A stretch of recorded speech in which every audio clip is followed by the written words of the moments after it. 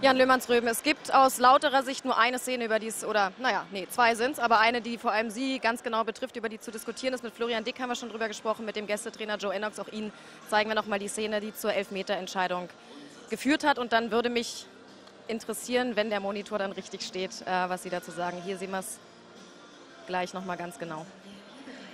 Ja, also wenn das kein Foulspiel ist, ja, leck mich am Arsch, Alter, ehrlich. Wie kann man das nicht sehen?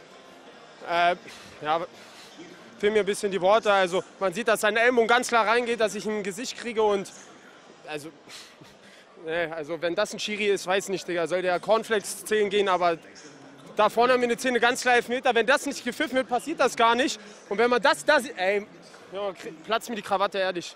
Fühlen Sie sich betrogen um den sicher geglaubten Sieg? Betrogen, er spielt hier ein super Spiel. Ja, keine Ahnung, was der Schiri sich gedacht hat. Ich hoffe, der kann eine Woche nicht pennen soll erstmal Kreisliga pfeifen und mal die Augen aufmachen. Also das ist ja eine absolute Frechheit. Ich könnte mir vorstellen, auch Sie schlafen heute Nacht schlecht, oder? Also wir haben uns nichts vorzuwerfen. Nein, natürlich, aber genau deswegen. Ja, na klar ist es Frust, aber wir haben wieder ein gutes Spiel gemacht. Die Mannschaft zeigt eine Reaktion. Wir waren, wir waren ganz klar besser. Torchancen, erste Halbzeit, zweite Halbzeit klar dominiert. Dann sieht man Zwickau, das ist nichts mit Fußball. Die haben äh, fünf Funktürme da reingehauen, hatten trotzdem keine Chancen. Und durch so eine Sache ergaunern die sich einen Punkt. Bodenlos. Dankeschön.